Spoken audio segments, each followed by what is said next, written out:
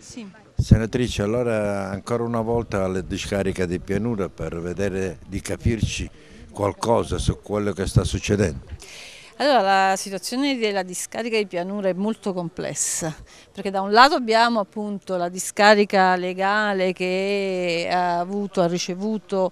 eh, la, lo sversamento per 40 anni di tutta la regione e che comunque non ha visto diciamo, una, una, bonifica e ancora stiamo aspettando. Noi su questo abbiamo fatto un'interrogazione parlamentare sia per il declassamento da SIN a SIR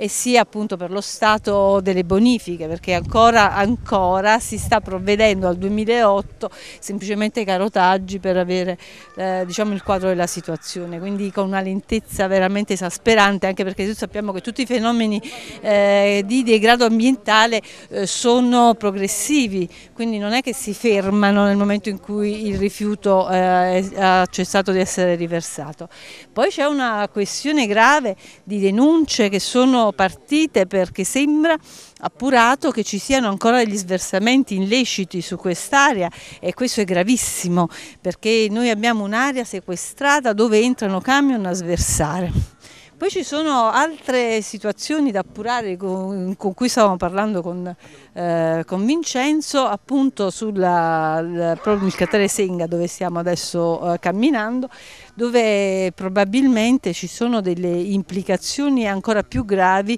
su dove eh, i rifiuti sversati siano andati a finire e probabilmente ci saranno per una questione di livelli anche eh, diciamo delle, delle gravi percussioni in altre aree dove non si è valutato potesse arrivare questo tipo di rifiuto.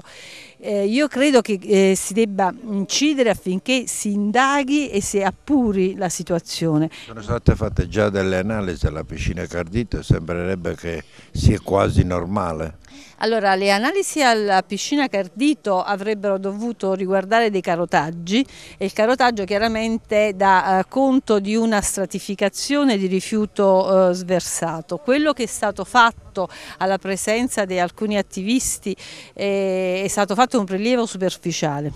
e questo chiaramente non può essere sufficiente a darci conto dei fatti. Tra l'altro vorremmo avere certezza e conto eh, della questione dei livelli con il il, appunto, la piscina Cardito e sapere se poi questi rifiuti abbiano avuto un deflusso in altre aree e, e il, il, pericolo è che sia arrivato anche nell'area urbana di Pozzuoli dove eh, gli effluvi possono aver anche eh, contribuito a eh, inquinare l'area ehm, diciamo della cittadina.